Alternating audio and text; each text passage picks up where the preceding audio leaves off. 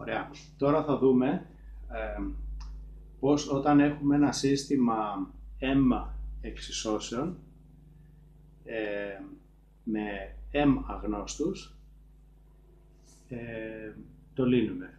Πώς μπορούμε να το λύσουμε. Και μάλιστα δεν μας ενδιαφέρει τόσο να βρούμε συγκεκριμένη λύση. Καμιά φορά γίνεται αυτό και καλό είναι αν μπορούμε να το κάνουμε να το κάνουμε. Αλλά το αν θεωρητικά, αν μπορεί να λυθεί. Αν υπάρχει λύση αυτού του συστήματος. Ε, θα ξεκινήσω με την πιο απλή περίπτωση όταν έχουμε γραμμικό σύστημα. Αυτό που μελετάμε στη γραμμική άλγευρα. Δηλαδή. Ας πάρουμε δηλαδή την περίπτωση και θα το διαμορφώσω έτσι ώστε μετά να το, ε, να το μεταφέρω στην περίπτωση που μας ενδιαφέρει στον απειροστικό λογισμό. Εντάξει, ας πούμε λοιπόν ότι έχουμε ένα σύστημα με πολλούς αγνώστους και κάποιες εξισώσεις και θα το διαμορφώσω έτσι ώστε να φαίνεται ποιες είναι, ποιοι ακριβώς είναι οι άγνωστοι και ε, ποιους ψάχνουμε να βρούμε. Ωραία, ας το γράψω λοιπόν έτσι.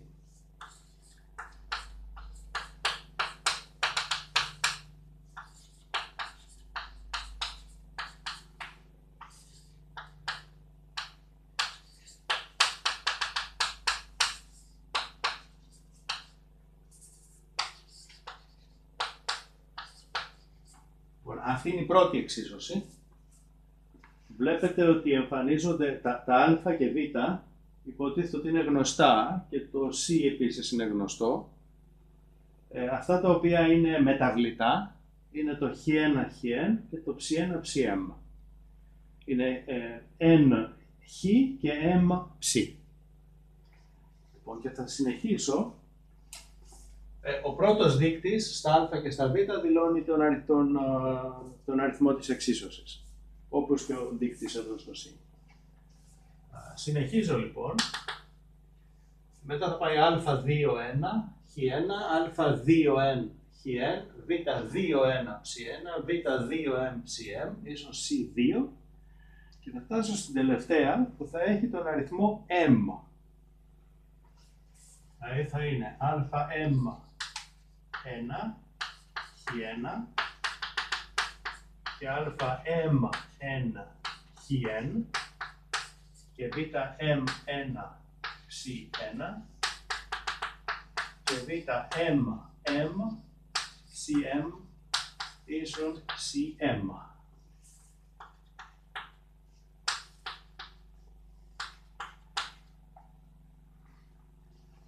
Ο αριθμός των εξώσεων είναι m οι μεταβλητές είναι n συν m στο πλήθος. Είναι n χ και m ψ.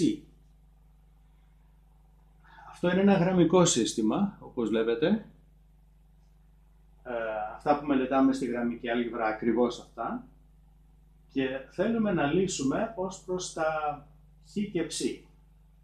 Τώρα γνωρίζουμε γενικά κάπως ότι συνήθως αυτά τα συστήματα τα οποία λύνονται της γραμμικής άλγεβρας, ε, όσες εξισώσεις έχουν, πρέπει να έχουν τον ίδιο ρυθμό αγνώστων. Έτσι, εδώ πέρα έχουμε m εξισώσεις, θα πάμε να λύσουμε ως προς τα ψ1 ψm, που είναι ακριβώς m.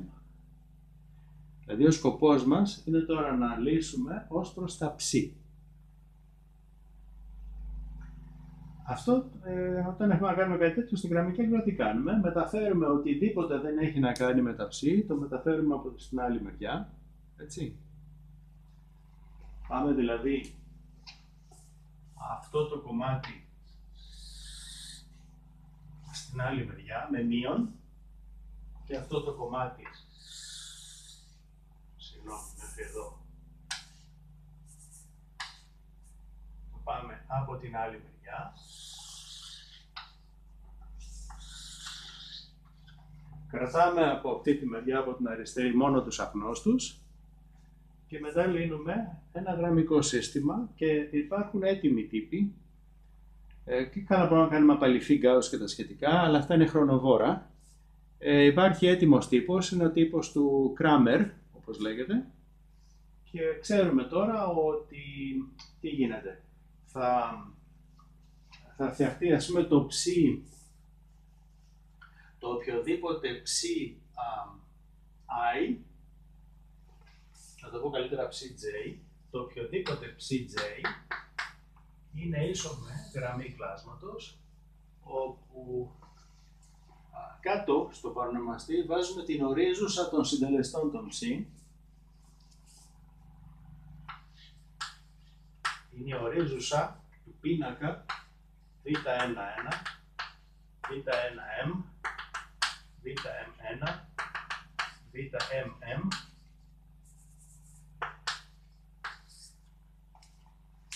και πάνω βάζουμε την ορίζουσα. Πάλι ενός πίνακα ο οποίος είναι ακριβώς ο ίδιος πίνακας με αυτόν, έτσι, δηλαδή αντιγράφω προσωρινά,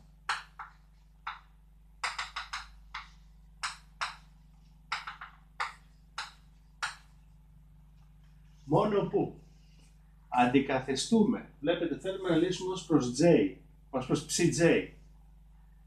Το ψ εδώ πέρα αντιστοιχεί, ε, φτιάχνει όπως το ψ1 φτιάχνει εδώ την πρώτη στήλη, το ψm φτιάχνει την τελευταία στήλη. Το ψj φτιάχνει τη στήλη επαριθμών j. Πάμε λοιπόν και τι κάνουμε. Αντικαθιστούμε την j στήλη αυτού του πίνακα, του πίνακα των συντελεστών. Παίρνουμε δηλαδή, όπως είναι η J εδώ πέρα, παίρνουμε τους αντίστοιχους συντελεστές, J Steele εδώ, και την αντικαθιστούμε με, την με τη στήλη των γνωστών σε εισαγωγικά. Έτσι, δηλαδή, αντί για τη J εδώ πέρα, που θα ήταν το VJ, ε, συγγνώμη, β1J, β1J, αυτήν εδώ τη στήλη, εντάξει, την αντικαθιστούμε με τη στήλη, δηλαδή στη θέση της βάζουμε τη στήλη των γνωστών. Δηλαδή, ποια θα ήταν; C1, CM, μόνο που εδώ έχουμε μεταφέρει και αυτά εδώ πέρα, έτσι. Α1, 1 και 1 και ούτω καθεξής. Και λοιπά και λοιπά, έτσι. Α την M1, Χ1 και λοιπά και λοιπά. Είναι μια στήλη αριθμών πάμε και αντικαθιστούμε την J στήλη, έχει να κάνει με το J αυτό, το υπόλοιπα είναι τα ίδια. Αυτά είναι, είναι γραμμική άλγευρα, έτσι. Αυτό λέει γραμμική άλγευρα. Έχουμε αυτούς τους τύπους. Ωραία. Πάμε τώρα αυτό, να φύγουμε από το πλαίσιο της γραμμικής άλγευρας και να δούμε τι γίνεται σε περίπτωση που οι συναρτήσεις σε αυτή τη μεριά εδώ πέρα δεν είναι γραμμικές όπως λέμε είναι γενικότερες. Δηλαδή, θα δούμε τι γίνεται αν εδώ έχουμε μία συνάρτηση, μία παράσταση, όχι γραμμική κατά ανάγκη. Δηλαδή έχουμε μία συνάρτηση F1 με μεταβλητές Χ1, Χ1, Ψ1, Ψ1. Και αντίστοιχα σε κάθε γραμμή έχουμε κάποια τέτοια αντίστοιχη συνάρτηση. Fm, ο υπαριθμόν, υπαριθμόν ένα γράμμι, θα έχει να κάνει με την εμμοστή συνάρτηση.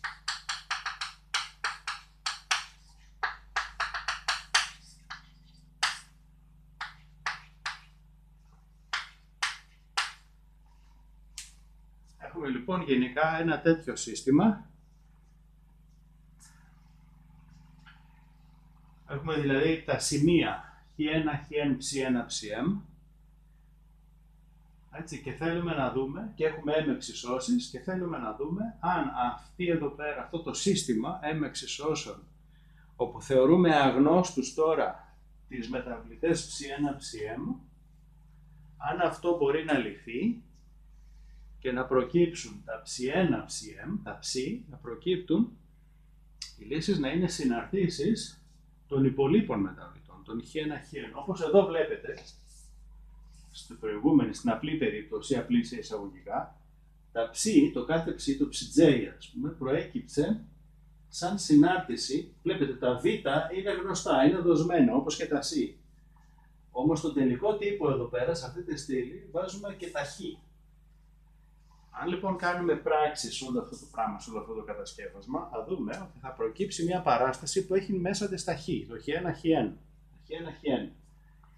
Εντάξει, δηλαδή το κάθε ψ θα προκύψει σαν συνάρτηση των χ1, χ1. Εντάξει, το ίδιο γίνεται, περιμένουμε να γίνει και γενικότερα.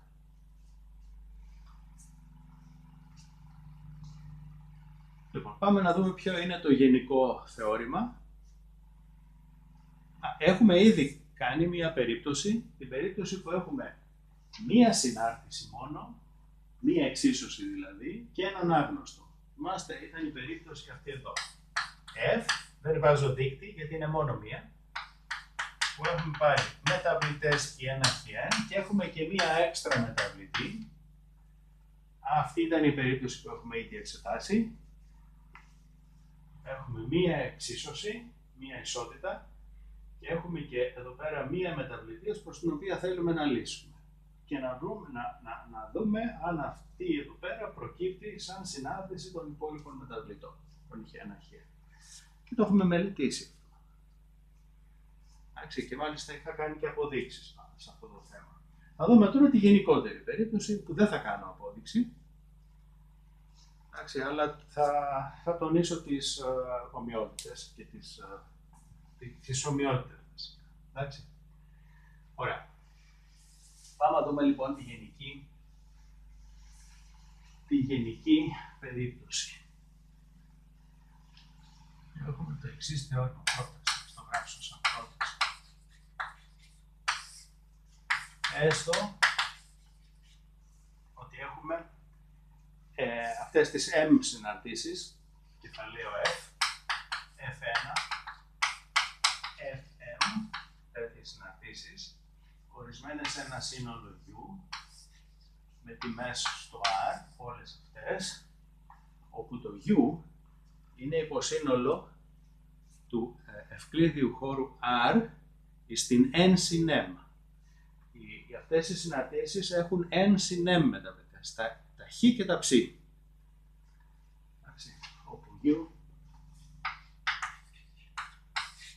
είναι υποσύνολο του r εν συνέμα.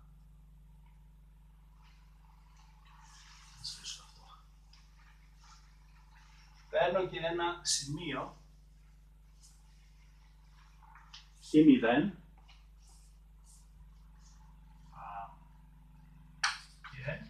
όχι χ0, χ0, ψ0 που ανήκει στο u.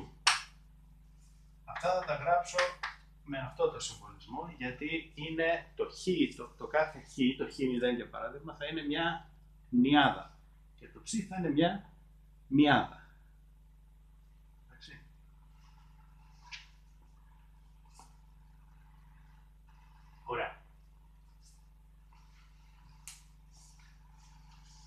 Θεωρούμε και το σύνολο α που είναι τα χ ψ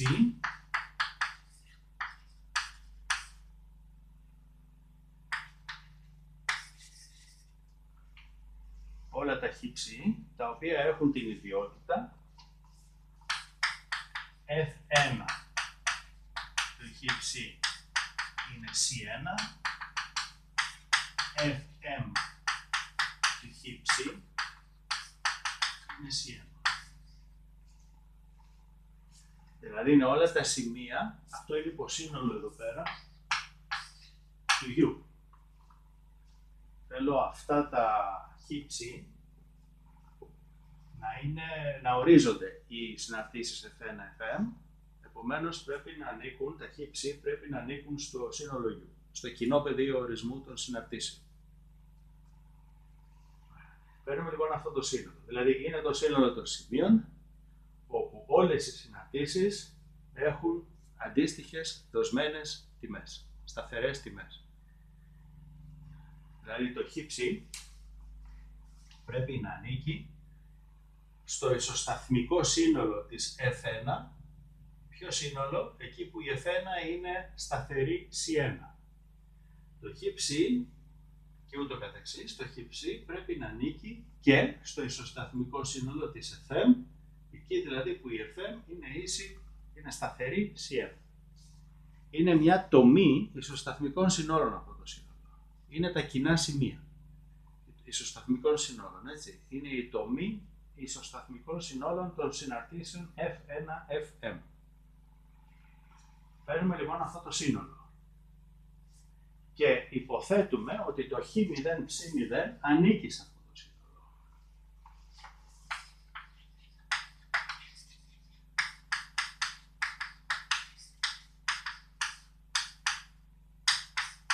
Δηλαδή, το χ0 ψ0 ικανοποιεί όλες αυτές τις εξισώσεις και τις m εξισώσεις.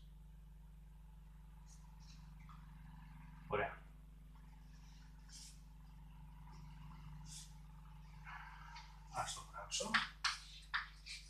Δηλαδή, F1 Χ0 C0 ίσον C1 και λοιπά και λοιπά. FM Χ0 C0 ίσον C1. Έχουμε δηλαδή μία λύση του συστήματος αυτών των M εξισώσεων. Ωραία. Τώρα, κάνουμε και την τελευταία, ε, επίσης υποθέτουμε, δεν είναι αυτή η τελευταία υπόθεση, η πρώτη τελευταία, υποθέτουμε ότι όλες οι συναρτήσεις F κεφαλαίο J, οτιδήποτε, ότι όλες αυτές οι συναρτήσεις έχουν συνεχείς μερικές παραγόγους ως προς όλες τις μεταβλητές τους.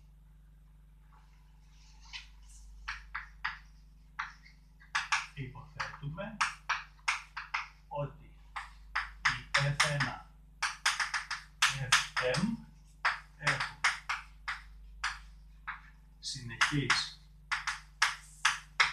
μερικές παραγόγους ως προς τις μεταβλητές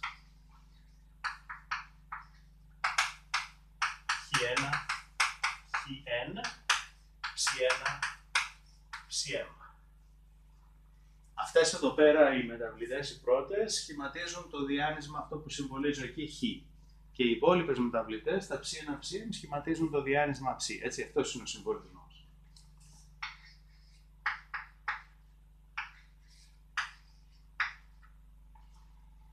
Όταν γράφω δηλαδή εδώ χ, υπονοώ ότι ε, το χ αποτελείται από τα χ1 χ1. Και όταν γράφω ψ, υπονοώ ότι το ψ αποτελείται από, την αυτό το οποίο αποτελείται από τα ψ1 ψ1. Ως προς όλες τις μεταβλητές, δηλαδή, αυτές οι συναντήσει έχουν συνεχεί μερικές παραγωγούς πρώτης τάξης ε, σε μια κοντά στο χ, στο χ0 ψ 0. Δηλαδή σε μια μπάλα με κέντρο το χ0 ψ 0. Μια μπάλα μπορεί να είναι πολύ μικρή, μπορεί όμως να είναι και τεράστια. Έτσι μπορεί να είναι όλος ο χώρος, όλος ο ευκλήδιος χώρος.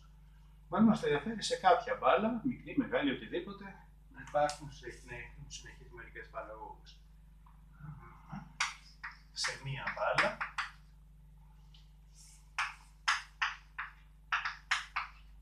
Με κέντρο. Χ0, ψ0.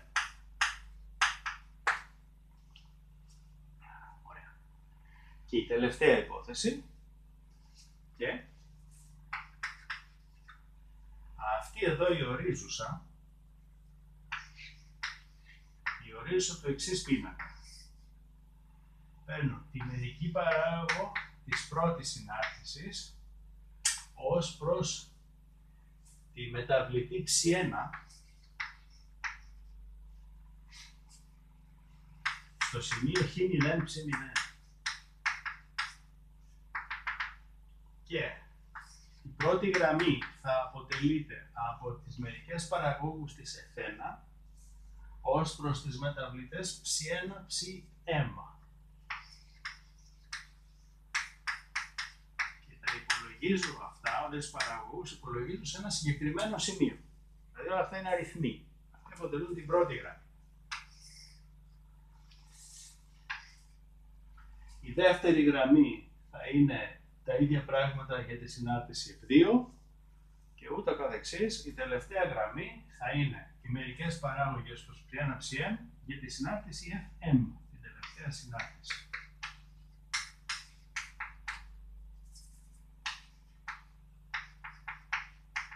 Όλα στο ίδιο σημείο.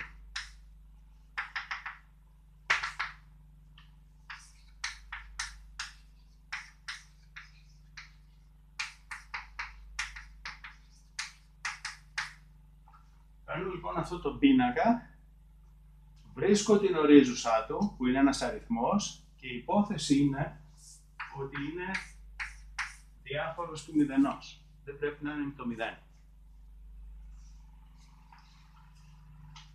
Ωραία. Τότε, συμπέρασμα.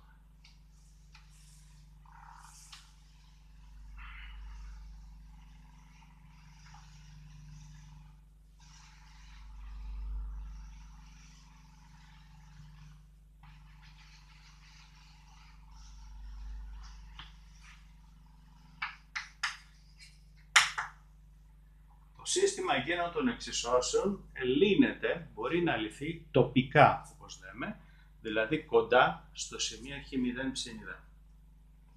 Τότε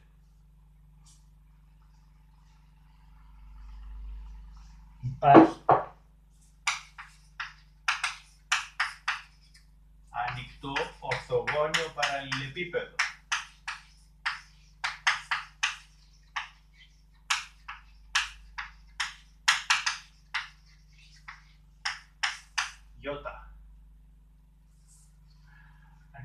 Υποσύνολο του Rn.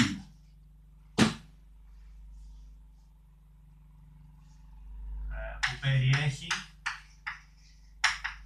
το σημείο χ0 και ανοιχτό ορθογώνιο παραλληλεπίπεδο. J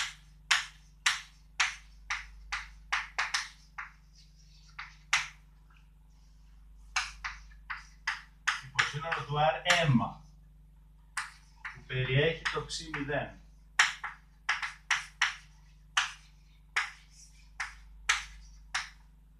Να κάνω και ένα σχήμα, να αρχίσω να φτιάχνω και ένα σχήμα σιγά σιγά. Το σχήμα τώρα,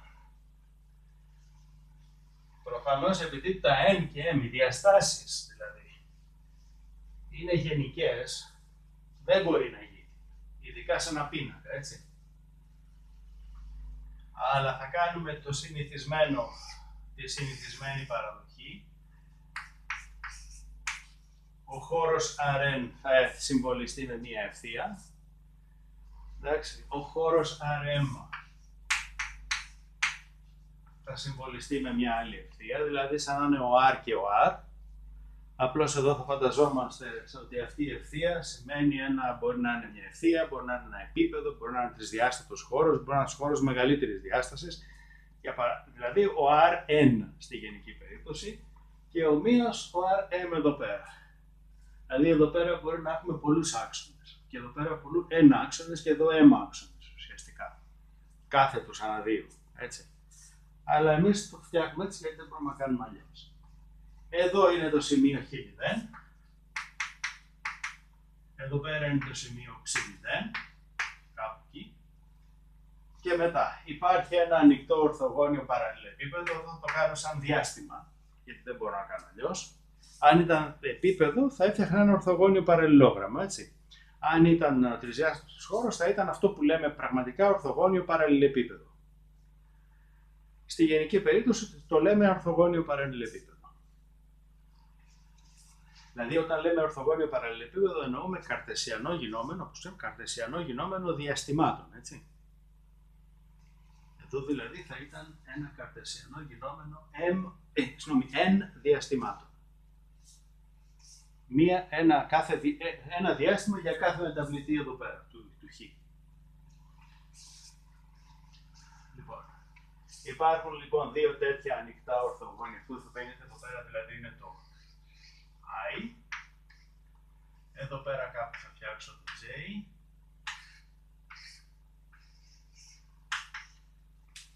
Το ένα περιέχει το χ0, το άλλο περιέχει το ψ0. Και τώρα τι γίνεται; Θα φτιάξω και αυτό το ορθογώνιο εδώ πέρα, το καρτεσιανό γινόμενό τους, που πάλι είναι ένα ορθογώνιο παραλληλεπίπεδο. Αυτό εδώ λοιπόν τώρα είναι το καρτεσιανό γινόμενο του i και του j, που είναι ένα ορθογώνιο παραλληλεπίπεδο σε ποιο χώρο, στον χώρο R με διαστάσεις n συν m. Με διάσταση n συν m. Γιατί έχει n διαστάσεις εδώ, m διαστάσεις εκεί πέρα, συνολικά έχει n συν m διαστάσεις. Αυτό εδώ πέρα είναι το σημείο χ0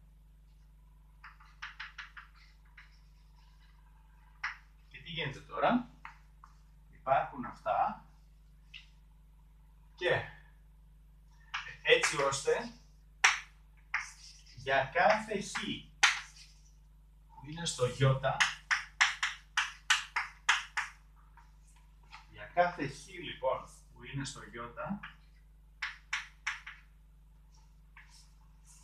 υπάρχει ένα και μοναδικό ψ στο j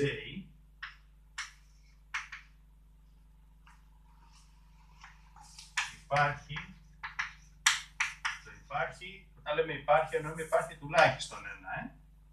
Υπάρχει μοναδικό, υπάρχει ακριβώς ένα, υπάρχει μοναδικό ψ στο J, ώστε να ισχύει το f του χ, ψ να είναι το F1, ώστε το χ να ανήκει, ώστε, ώστε χ να ανήκει στο σύνολο α. Δηλαδή σε αυτή τη δομή το ισοσταθμικό σύνολο. Δηλαδή, τι, θα επεξηγήσω, δηλαδή, η F1 στο χ να είναι C1, χολυπού χολυπού Fm ψ να είναι Cm. Δηλαδή το χ να είναι λύση του συστήματος των εξισώσεων που, έχω, που μου έχουν δώσει. Για κάθε χ λοιπόν, εδώ πέρα παίρνω ένα χ, το σταθεροποιώ μέσα στο ι, τυχαίο. Τότε μπορώ να βρω μέσα στο j ένα και μοναδικό ψ που να λύνει τις έμω εξισώσει, το ταχύψη, το χύψη. Τα δύο αυτά να λύνουν τις εξισώσεις. Δηλαδή, όταν πάω κατακόρυφα προς τα πάνω, εδώ πέρα, σε ύψος εισαγωγικά τώρα, σε ύψος ψ ακριβώς, εδώ πέρα ακριβώς, και σε κανένα άλλο σημείο της κατακόρυφης, δηλαδή για το αυτό ίδιο χ, ένα μόνο σημείο είναι πάνω σε αυτή την κατηγορία. Δηλαδή υπάρχει ένα ψ ακριβώς που το χ μαζί μου λύνουν το, το σύστημα. Έτσι. Για κάθε χ λοιπόν εδώ πέρα βρίσκουν αντίστοιχο ύψος. Τι σημαίνει αυτό, αυτό ξέρουμε ότι σημαίνει ύπαρξη συνάρτησης. Έτσι από τα διάφορα χ και τα διάφορα ψ θα πάρω ένα άλλο χ μετά, θα βρω το αντίστοιχο ψ, θα πάρω ένα άλλο χ, θα βρω το αντίστοιχο ψ, ένα άλλο χ το αντίστοιχο ψ και έτσι θα φτιαχτεί μία συνάρτηση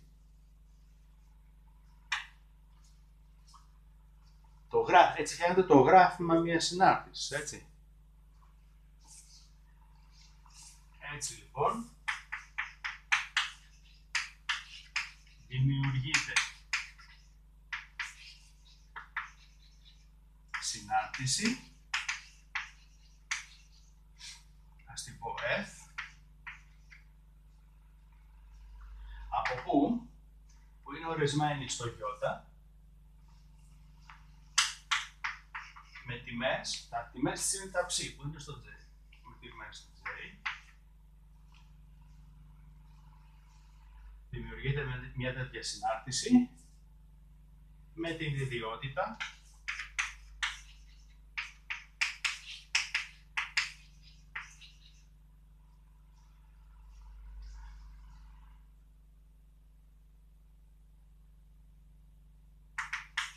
για κάθε χ στο ι,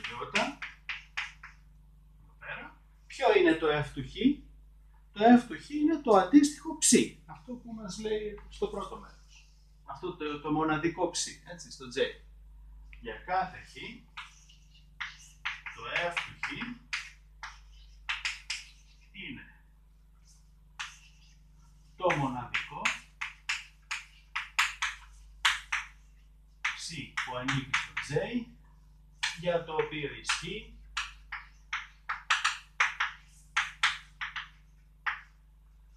ότι το χ είναι στο σύνολο α. Έτσι. Δηλαδή ισχύουν αυτές οι εξισώσεις.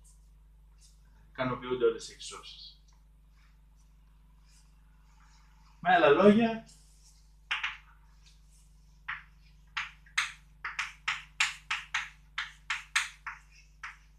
ισχύει τι, ότι αν βάλω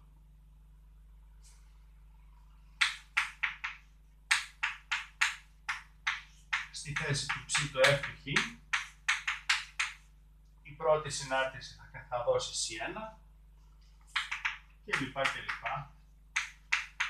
Η αιμοστή συνάρτηση θα δώσει C1.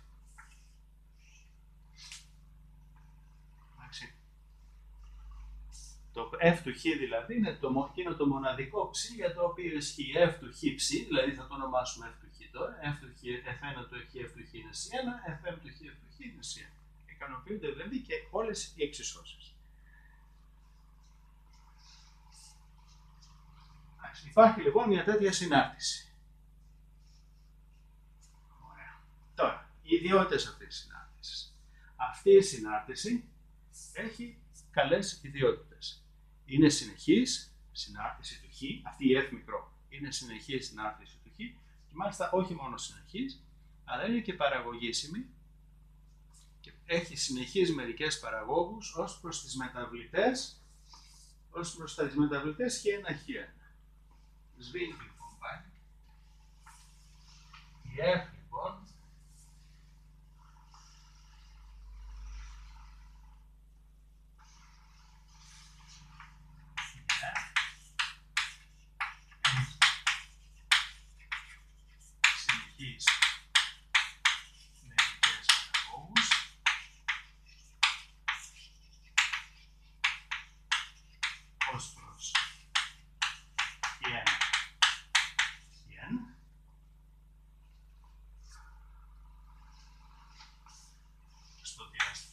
στο, παραλληλόγραφο, στο παραλληλεπίπεδο Ι. Και αφού έχει συνεχεί παρα, μερικές παραγωγούς προ όλε τι μεταβλητές, ξέρουμε ότι είναι από εκείνο το κριτήριο παραγωγησιμότητα, ξέρουμε ότι είναι παραγωγήσιμη. Έτσι. Η συνάρτηση αυτή είναι παραγωγήσιμη. Έχει συνεχεί μερικέ και ε, δίνονται από τύπους. Οι οποίε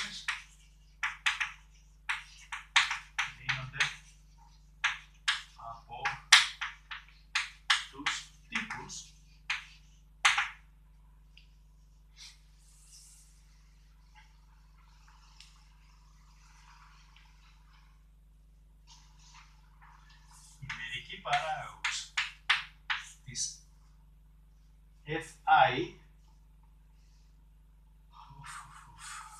Συγγνώμη, εδώ πρέπει να βάλω F πώς το πρέπει να βάλω F διάνυσμα. Η συνάντηση είναι διανυσματική. Μην ξεχνάμε, το F του Χ είναι εκείνο το ψ, έτσι. Η τιμή της F στο Χ είναι το ψ. Το ψ είναι διάνυσμα. Η συνάρτησή μου δηλαδή αυτή είναι διανυσματική. Ε. Ξέχασα να βάλω το, το, το, το, βελάκι. Το είχα βάλει προηγουμένως νομίζω. Το βλέπω εδώ. Εντάξει. Είναι διανυσματική συνάρτηση, έτσι. Αυτή εδώ πέρα τώρα, επειδή είναι διανυσματική συνάρτηση, έχει ε, αίμα ε, συντεταγμένες συναρτήσεις. Ε, θα πάρω και θα συμβολήσω την I συντεταγμένη συνάρτηση με FI, όπως κάνω συνήθως, έτσι.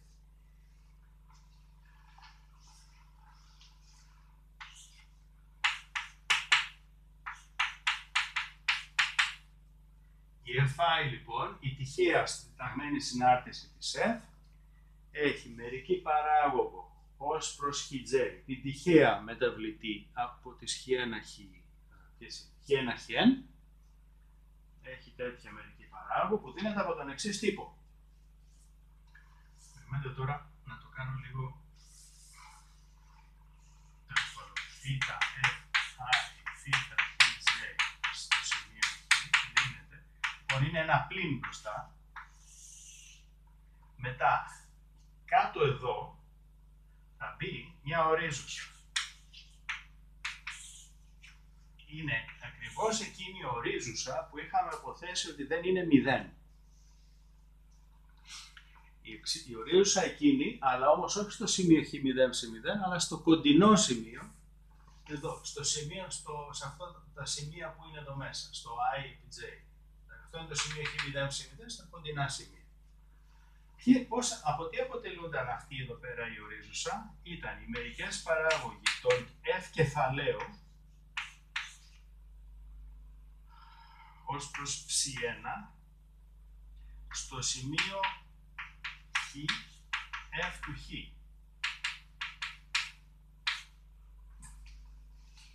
Μεγάλη ιστορία. Εδώ είχε μπει το χ, χ0 ψ0 σε εκείνη την, την, την ορίζουσα.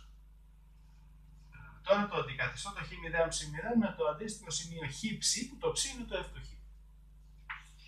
Θ f1, θ ψ m στο σημείο χ f του χ πάλι και λοιπά και λοιπά και η τελευταία γραμμή θα είναι η θ fm, θ ψ1 στο σημείο χ του χ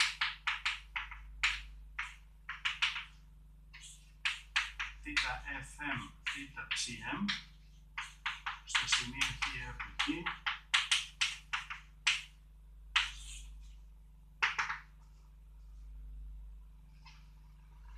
Αυτή ήταν εκείνη η ορίζουσα που είχα, επαναλαμβάνω, που είχα πει ότι δεν είναι 0 αλλά η ορίζουσα είχα πει ότι δεν είναι 0 στο σημείο χ0 σε 0, σε ένα ειδικό σημείο. Τώρα αυτό το τη γράφουμε την ίδια ορίζουσα μόνο που αλλάζουμε το σημείο και θεωρούμε ότι το σημείο έχει αλλάξει. Δεν είναι το χ0 σε 0, αλλά είναι το σημείο χ του χ. Αυτό εδώ πέρα, το χ του χ. Αυτό. Το ψ είναι το f του χ. Ε. Αυτό το ψ εδώ είναι το f του χ. Αυτό το σημείο. Σε κάθε χ λοιπόν υπολογίζω εκείνη την ορίζουσα στο αντίστοιχο σημείο χ του χ, το σημείο που είναι πάνω σε αυτό το γράφημα, στο γράφημα της συνάρτησης F. Μπαίνει στο παρονομαστή λοιπόν αυτή η ορίζουσα ή θα μπει τώρα στον αριθμητή.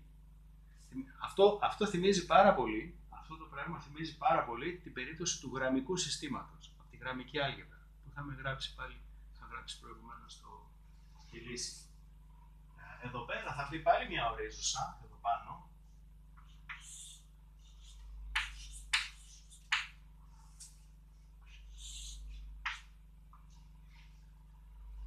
Εντάξει, θα μπει μια ορίζουσα και τώρα τι θα έχουμε εδώ πέρα. Προσέξτε, θα μπουν ακριβώς, ακριβώς αυτό το πράγμα, μόνο που θα αλλάξει πάλι μια στήλη. Ακριβώς όπως τον τύπο του Κράμερ της γραμμικής άλγευρας. Θα αλλάξει μια στήλη. Λοιπόν, θα γράψω λοιπόν εδώ πέρα θ f1 θ ψ1 στο kf Θα τα συμπιέζω λίγο, δεν φαίνονται καλά τώρα, αλλά δεν πειράζει. θ fm θ ψ1. Ξέρω αυτά είναι στις σημειώσεις, έτσι. Θέλω μόνο εδώ να εξηγήσω κάποια πράγματα. Λοιπόν, αυτή θα είναι η τελευταία. Να το πω πιο πέρα, να έχω έτσι θ1, θψm στο ίδιο σημείο πάντα. Μία ευτυχή.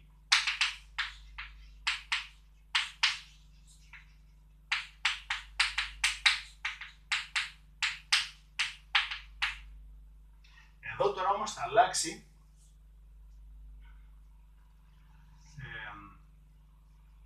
Θα, πάρουμε, θα, θα, θα, θα βάλουμε στην, θα αλλάξουμε τη J στήλη. Στη J στήλη.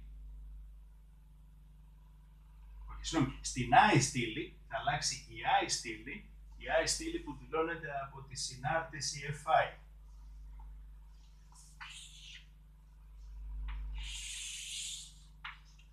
Τώρα εδώ θα σβήσω. I στήλη,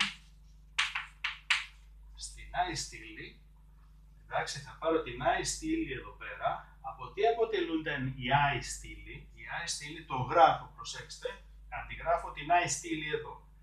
Είναι η πρώτη γραμμή θF1 και η I στήλη είναι εκεί που έχουμε το θ ψ, ε, πώς το λένε, θ, ε, ψ I, έτσι. Μέχρι και πάμε κάτω θ fm, θ ψ I. Αυτή εδώ πέρα είναι ακριβώς η I στήλη, στο χ αυτό χ.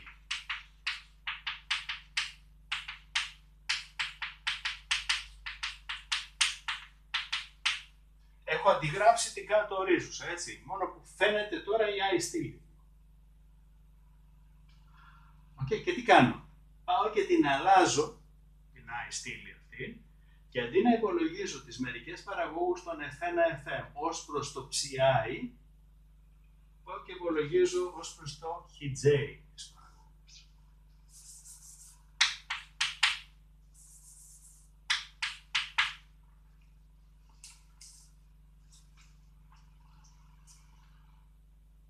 Εντάξει. Για συγγνώμη να δω την ώρα. Δηλαδή, θέλω να υπολογίσω της συνάρτησης F μικρό i, τη μερική παράγωγος προς j. Ο κανόνας είναι, παίρνω την ορίζουσα που είναι από κάτω και αλλάζω την i στήλη. Και αντί να έχει i στήλη, όπως αυτή εδώ, τις μερικές παραγόγους ως προς το ψι, υπολογίζω τις μερικές παραγόγους ως προς το χj.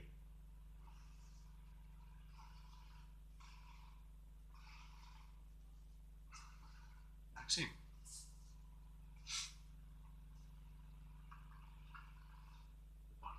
Θα το κλείσω τώρα, θα συνεχίσω και θα προσπαθήσω να, να κατά πρώτον, ε, θα δείξουμε, θα, θα δούμε ποια είναι η ομοιότητα με την περίπτωση μίας εξίσωσης και μίας άγνωστης του ενός ψη μιας συνάρτηση F κεφαλαίου και ενός ψ. Θα δούμε δηλαδή αν μοιάζει με αυτό το πράγμα, που αυτή είναι η γενίκευση, που έχω M συναρτήσεις και M ψ. Και μετά θα προσπαθήσω να δείξω πώς το καλό προκύπτει αυτό το πράγμα εδώ πέρα, αυτός ο τύπος. Εντάξει. Δεν θα κάνω απόδειξη της ύπαρξης αυτών των συναρτήσεων. Το είχα κάνει στην περίπτωση που είχα μία συνάρτηση, μία F και ένα ψ. Εκεί είχα κάνει αναλυτικά την απόδειξη. Έτσι. Εδώ δεν έχει νόημα να κάτσουμε να κάνουμε αναλυτικά την απόδειξη. Είναι υπερβολικά περίπλοκη και θέλει να τη διαβάσει κανείς σε χαρτί. Αλλιώς δεν στον πίνακα θέλει πάρα πολλές ώρες κανείς να το κάνει. Να, να το κάνει και να είναι πιστικό. Εντάξει. Οπότε συνεχίζουμε σε λίγο.